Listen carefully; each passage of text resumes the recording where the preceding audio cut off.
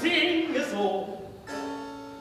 Was haben wir heute für einen Tag?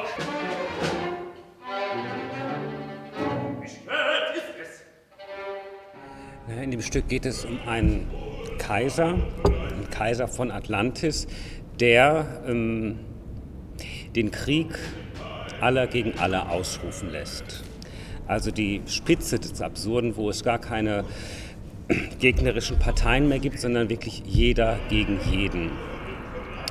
Und der Tod verweigert sich seinen Dienst weiter zu verrichten, weil er sich nur noch als kleiner Handwerker des Sterbens sieht in dieser Todesmaschinerie, die vom Kaiser initiiert wird und quittiert seinen Dienst.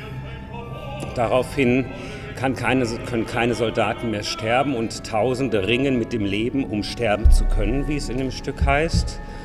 Und hinterher erscheint der Tod diesem Kaiser und sagt, er wäre bereit, seinen Dienst wieder aufzunehmen. Wenn du das Opfer bringen kannst, als erster den neuen Tod zu leiden. Dieses Stück ist gar nicht aus seinem Kontext, in dem es entstanden ist, äh, rauszudenken, weil es halt von Viktor Ullmann im Ghetto Theresienstadt komponiert wurde und das natürlich zu sehen ist auf, äh, dass es auf Hitler, auf diesen Krieg äh, gemünzt zu sein scheint. Das kann man so sehen.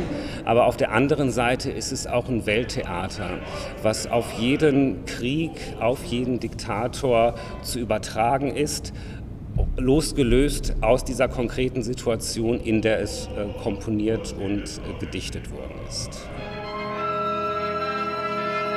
Wir haben dieses Jahr 19 Musiker, wirklich altersmäßig sehr weit gestreut. Die jüngsten sind 12, die ältesten 24.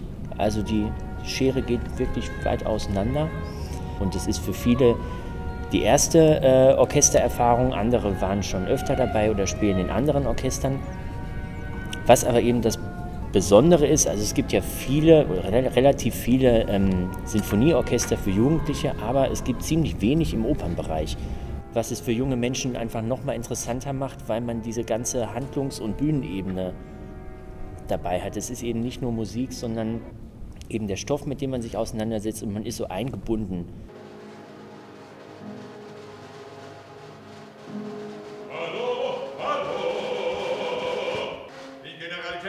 Der 12. Armee hat ihren Bericht noch nicht überreicht. Warum wir gerade dieses Stück ausgewählt haben für das Mir Jugendorchester ist auch, dass es nach der Uraufführung 1975 gab es einige Häuser, die das nachgespielt haben.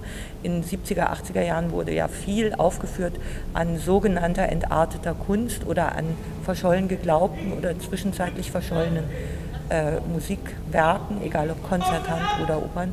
Ähm, aber Einige davon sind sicherlich vor allen Dingen zeithistorisch interessant gewesen, als Dokument der Entstehungsgeschichte. Aber der Kaiser von Atlantis ist eins der Werke, was es auf jeden Fall verdient und verdient hat und sich inzwischen etabliert hat, auch in den Opernspielplänen.